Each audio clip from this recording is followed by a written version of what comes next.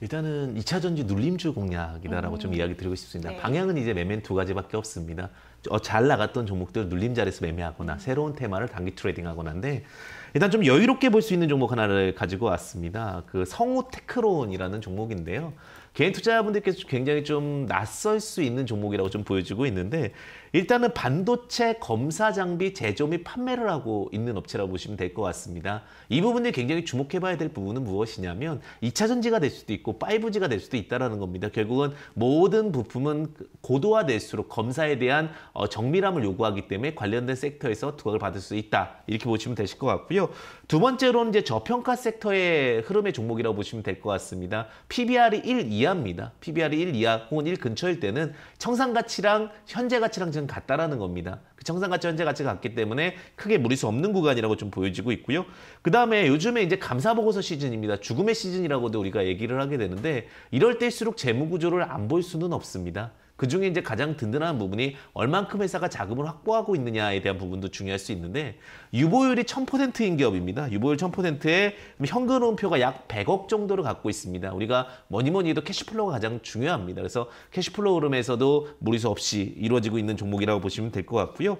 근데 앞서 이제 제가 뭐 종목 설명을 할 때 이 종목은 효성화학이 있으니까 좀 안전합니다. 그래서 든든한 100이 있다. 그러니까 최대 주주로 지분이 있는 종목도 좋고요. 아니면 매출처가 뚜렷한 종목도 좋습니다. 그러니까 개인 투자자분들 종목 분석이 좀 어려울 때는 우리 대신에 남의 눈을 빌리는 것도 좋습니다. 전문가의 눈을 빌리는 것도 좋지만 어떤 최대 주주라든지 혹은 어떠한 그 투자자들이 굉장히 큰 기업일 때는 엄청나게 많은 평가를 하지 않았겠습니까? 그런 관점에서 좀 보시면 될 것 같은데 이번엔 주요 고객사 모멘텀을 좀 보도록 하겠습니다. 주요 고객사가 삼성전기, 그 다음에 LG이노텍, LG화학, 해성DS 등이 주요 고객사입니다. 이런 부분들이 있을 때는 안전한 매출 마진과 또 안전한 어떤 실적 확보가 가능할 수 있다는 부분도 어, 주목해 보시면 좋으실 것 같습니다.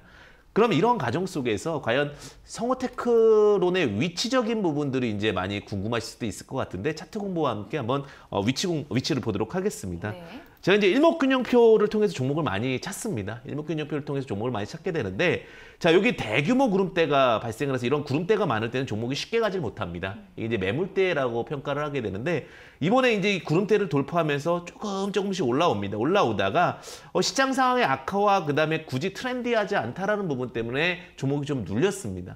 근데 다시 얇은 구름대로 다시 지지대가 나오면서 발생하고 있기 때문에 뭐 많이 빠져야봤자 5,200원 그리고 상승폭에 대해서는 충분히 기대할 수 있는데 자 그럼 이러한 종목들은 turnaround가 된다면 충분히 더 매력적인 포인트로 바뀔 수 있다라고 좀 말씀드릴 수 있을 것 같고요. 자 그럼 주- 예, 투자 포인트 보도록 하겠습니다. 매수 단가를 보실 때는 어, 현재 가격 한 5,300원 좀 제시를 드릴 수 있을 것 같습니다. 지지와 저항 자리 지금 딱 보시게 되면 박스권의 딱 상단 부분이죠. 그래서 박스권의 상단 부분에서 오늘 아랫꼬리가 발생하면서 주가가 상승을 하고 있는 구간이고요. 사실 fundamental 상으로 봤을 때는 PBR 두 배까지 보게 되면 12,000원까지도 볼 수 있는 흐름입니다. 그런데 이제 그런 부분보단 저항까지 보시게 됐을 때는 자, 이런 종목들을 주봉으로 보겠습니다. 주봉으로 보시면은 8,500원 이후에는 윗자리가 없기 때문에 단기적인 trading 상에서는 8,500원 정도에서는 흐름적인 부분도 좀 끊길 가능성도 있어서 어, 이런 trading 관점도 보시는 전략이 좋을 것 같습니다. 자, 이렇게 지금 말씀을 드리고요. 손절가 같은 경우는 4,500원을 제시드리겠는데 4,500원을 제시드리는 부분은 펀더멘탈의 지지대 하단 부분이기 때문에 이렇다고 보시면 되실 것 같고요. 제가 이렇게 종목을 갖고 올 때 기준은 크게 세 가지를 가지고 옵니다. 앞으로도 그렇게 월요일 날 준비를 해서 가지고 올 건데요. 첫 번째는 매물대를 소화한 종목이냐. 두 번째는 지금과 같이 가치 저평가 종목이냐. 그리고 세 번째는 전체적인 흐름상에서 시장의 트렌드를 받을 수 있는 종목이냐라는 부분을 확인하시면 좋으실 것 같은데 가끔 오늘도 제가 이제 종목 상담을 하면서 느꼈던 부분들이 개인 투자자분들께서 좀 추격 매수하는 경향이 많으세요. 이 부분을 조금만 참으시면 주식은요. 언제든지 제자리에 옵니다. 성호테크론도 마찬가지로 조금 더 눌렸기 때문에 제가 좀 자신 있게 설명드리는 거고요. 수익을 보는 것도 중요하지만 리스크 관리는 더 중요하다. 이렇게 말씀드리면서 종목, 종목 제시드리도록 하겠습니다.